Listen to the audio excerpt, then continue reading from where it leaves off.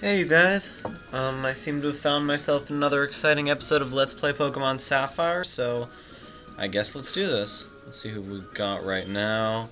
Uh, we have Afflin, who's currently paralyzed, Mikolay, who's currently level 24, and Phantasm, who's currently level 18. Uh, seems good enough. Might as well put him in his right spot and all that. Okay, so I think I remember what the what the nearest trainer has, but I'm sort of going to uh, try to go out of my way to get in as little grass little grass as I can, because I'm not really a fan of subjecting myself to unnecessary chances, if you will. So here's a guy. He found some cool Pokemon in the area in the grass around here. I believe all of the Pokemon that he sends out now are going to be ones that actually can be found in the nearby grass. And if that's the case, Afflin should be able to inflict some decent damage on them, if not necessarily um, small number of hit KOs. I'm alright, one more Sludge will finish it off if I'm not unlucky. Alright, Sand Attack, that's not that much of a concern. It means that my attacks will sometimes miss annoyingly, but at least this Poochyena doesn't seem to be too intent upon actually defeating me. Oh, except for that, that's also annoying. That sort of makes me want to switch out now, actually. Because the thing is, Mikolay is about to get healed, so I think I can sort of afford for him to take a for her to take him to take a, a small bit of damage from the tackle that's coming now. Yeah, furthermore, it is a small bit of damage. And I can use Peck here, and I can defeat the last two. And even though it's sort of annoying that nobody but Mikolay is ever gaining any experience points, you'll see the utility you'll, you'll see the utility behind this decision in just a minute. And I mean, there we go. Aron is both Steel and Rock type, which means it has a four times weakness to Fighting type moves. Which is weird, because you'd think some sort of, like, thing made out of steel would be difficult to kick to death, but Mikolay can just brush it aside with a single kick. And here's the scarier part. Do I switch out? Do I switch out? I'm gonna switch out. I don't want to get paralyzed. That's why I'm switching out here.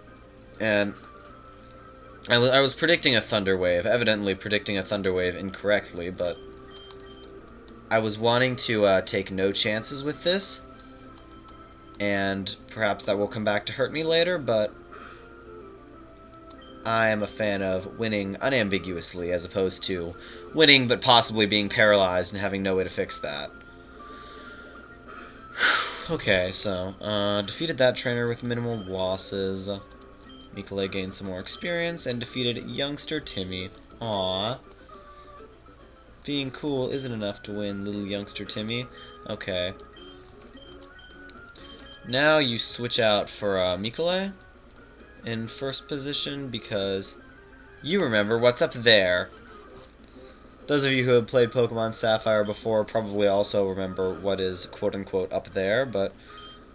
Okay, uh, what are the chances that I get Thunder Waved? Non-zero, therefore what are the chances that I'm switching out? 100%.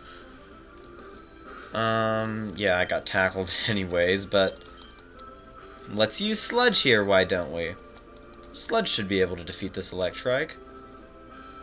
You would think that, wouldn't you? Well, you would be incorrect, good sir. Okay, one more hit from Sludge, and I should have defeated it. And then I can move on to whatever the next thing I was afraid of doing is. Afflin use Sludge. Great. Electrike chews heartily upon the dust. And we have a level 16 Afflin.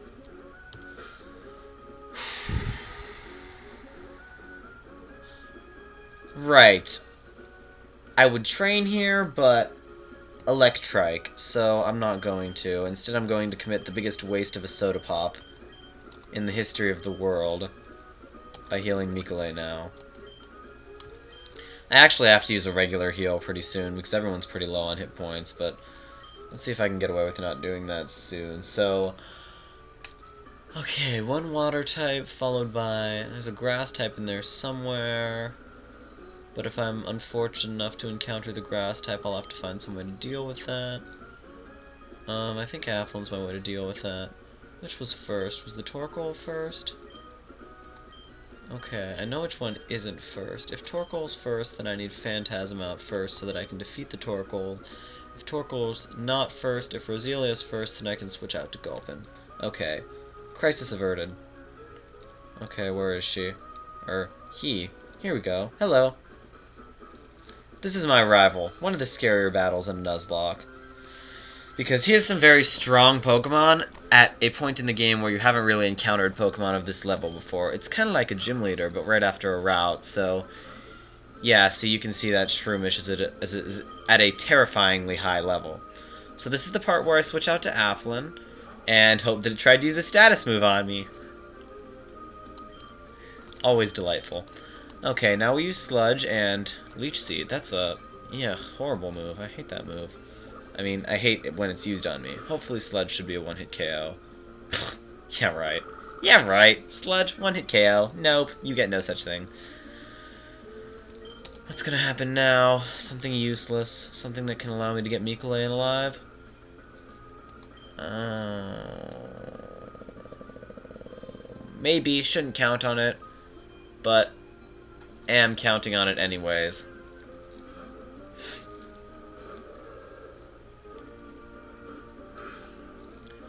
And tackle means Ember should deal with this.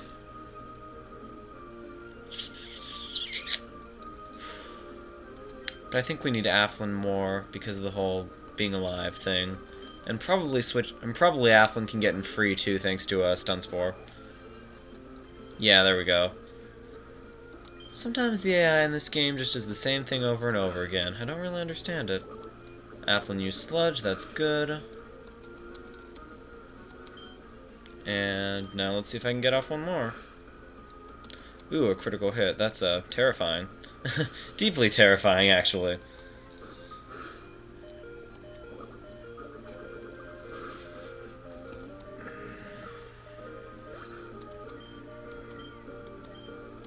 Here comes the part that's that freaks the hell out of me. Marshtomp. I have to switch, and I don't know how I'm going to deal with this.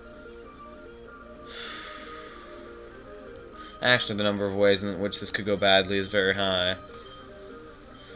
Aflin will not take a hit. Aflin will get mudshotted to death. Can Phantasm defeat this? Only with Supersonic and with luck? Wish me that. Luckily, I'm pretty sure the Marshtomp doesn't know any moves that are immediately threatening to Phantasm. Oh, that was immediately threatening to Phantasm. But... Oh, come on, come on, Supersonic! Oh, good. It knows Bide. Bide is not all that useful to it. So, while it's storing energy, I'll shoot Supersonics at it until I eventually hit. There we go. And so, I don't know if it's unleashing it, if it's going to uh, be able to unleash energy if it's confused. Okay, there we go. Now I go off with Wing Attack, and I hope Wing Attack's stronger than I remembered. And it isn't really, but okay. But continue to hurt yourself in your confusion, and I'll slowly get closer to defeating you. I could be using Water Gun, actually, now that I think about it. I probably should be using Water Gun. God, Phantasm, you're a hero! This is one of the most terrifying battles in the game, and it looks like Phantasm is going to win it for me. and to think the words left my mouth, Supersonic is useless. Did I say that? Did I say that Supersonic was useless? Did I leave the impression that Supersonic would never save my butt in a tight situation? This is a Numel. It's fire slash ground type. I currently have Phantasm out. Goodbye, Numel.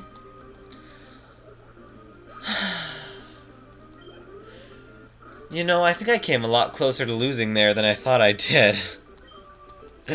oh my god. That's stressful. oh, but it's good to be done. Okay, what's up next? Okay, last really difficult challenge before Mauville City is complete. Um, what have you got? What have you got? Uh, let's see. Uh, you've got some 5 and 2 left. Uh, is it worth it to, is it worth it to um, heal uh, Aflin up for 3 sludge power points? I'm of the opinion the answer to that question is no. I'll use Miquelle for the wild Pokemon that I'm bound to encounter, and then following that, I will use um, Phantasm for the one trainer that I know is there. I get the signs, but you see, I don't really care about the signs all that much. What I really care about is having my Pokemon not die, and uh, the issue with the issue with, with the signs is they sort of have a uh, barrier of tall grass in the way. So this guy's a Pokemaniac. I think the first one that we encounter. No, he's a collector. He's a collector. I'm sorry. I'm full of lies. Anyway, he is a part grass type Pokemon. Now, if I had remembered to save my wing attack power points, I would be in a much better situation right now. However, as it stands, I can't take out both of his grass type Pokemon. I can only take out one, but really, in actuality, that's fine, because I can just switch out to Miquelle anyways, and it won't make too huge of a difference. Right, right, I hope so. I hope that's correct. Phantasm hits level 19, and time to swap out for Nuzleaf. Okay. Um... Here comes Miquelle. And Nature Power is Swift. I thought it was Stun Spore, but really it doesn't matter that much, because the only reason I didn't want Miquelle to get paralyzed as badly as I wanted Miquelle to not get paralyzed is because I thought I would get destroyed by Brendan if Miquelle had been paral paralyzed. As it turned out, I didn't even need to use him, because Phantasm is amazing. but indeed, I was a little uh, scared for that reason. Okay, so I don't think there's any more reason to have Phantasm out in front. I think uh, compelling arguments for having Phantasm out in front are no longer any. Uh, what does this guy have? Is he the guy with the, is he the guy with the Abra? I forget. Um, don't like. Electrike is to paralyze me, or it is going to get one-hit KO'd. I prefer the one-hit KO'd part and actually not getting paralyzed. What do you have? I forget. Come look at me. Yeah, he's a Psychic. Definitely the first one of these we encounter in the game. I don't know if I have any Pokemon that really can do a lot to him, but I'm also not sure if I have any reason to fear him. Okay, Abra of level 16. Um, they only know teleport naturally. I think this one's been artificially taught hidden power, and I don't. And hidden power is a move with a type that changes based on the Pokemon that uses it. Haha, synchronized tried to burn me, but I'm a fire type, so it's irrelevant. Okay, so it's just a normal power, and that was a critical hit. So as you can see, uh, the hidden power is a move whose power and type changes based on the type of the Pokemon that's using it. Evidently, Abra's hidden power was not super effective against me, and was also not of very high strength. So that was easy enough. Uh, talk to him again, have him do nothing of importance, and continue northward. And this is probably the last wild Pokemon in this section of the section. And look, it's a Plusle. I think Plusle's the rarer one in uh, Ruby, but I don't actually remember. So I'm just going to double kick. That should be enough to uh, defeat it. Yeah, a single kick. Plusle is very defensively fragile, I suppose. I don't know why they were giving me such trouble earlier. I must have been so freaked out over the paralysis and over the rival battle that I lost sight of myself.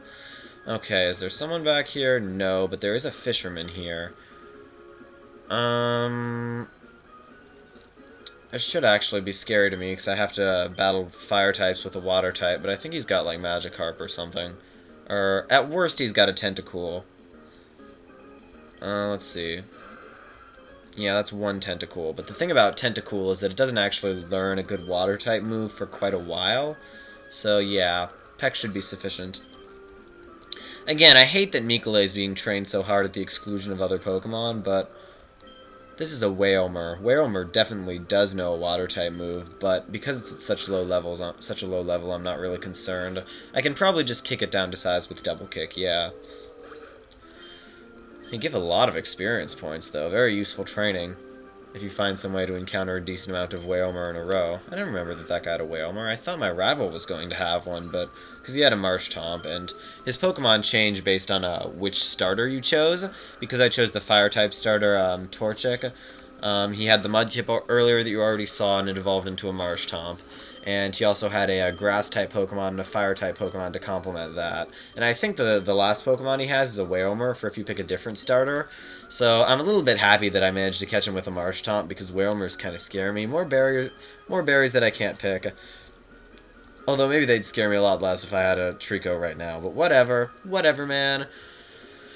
Okay, so uh, everything went better than expected. Welcome to Mauville City. This has been another exciting episode of Let's Play Pokemon Sapphire. Um, get a good night's sleep, everybody. And have a nice, uh, whatever day it is. Or whatever day tomorrow is, whatever you're doing tomorrow. Have a nice, uh, that. Because I certainly had a nice, uh, 20 minutes or so. Alright, uh, thanks, and I'll see you later.